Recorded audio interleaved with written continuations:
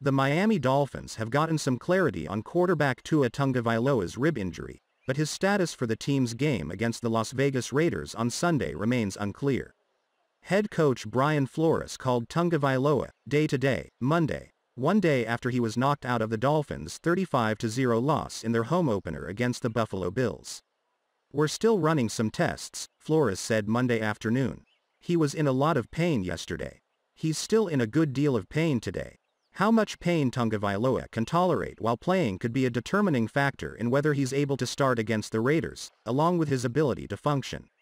Flores said the Dolphins also would look into the possibility of having Tagovailoa fitted with a flak jacket.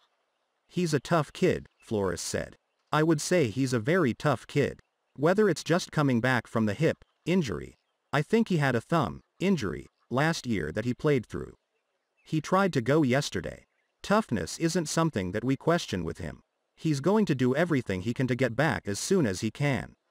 I have a lot of confidence in that. No, he's a tough kid for sure. X-rays of Tagovailoa's ribs taken at Hard Rock Stadium on Sunday were negative, and additional tests done Monday morning revealed no major issues, according to NFL Network reporter Tom Pelissero.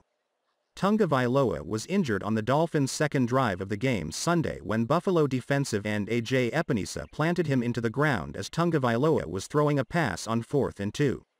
After the pass fell incomplete, Tagovailoa struggled to walk back to the sideline and eventually was carted inside Hard Rock Stadium. He was 1 for 4 for 13 yards and was sacked twice during his nine snaps. Veteran Jacoby Brissett took over for Tagovailoa and went 24 for 40 for 169 yards with one interception in the 35-0 loss. Brissett was sacked four times. It indeed was a very rough afternoon for the offensive line, but Flores said that concerns about that unit's performance never would factor into any decision regarding his quarterback. I think we're making the corrections, really, at all positions, Flores said. We go into it every game thinking we are going to get the quarterback protected. That's always a point of emphasis. Obviously, we didn't do that yesterday, so we will make some adjustments to make sure that gets done. That's not going to be part of it. If Tua can go, he's going to go.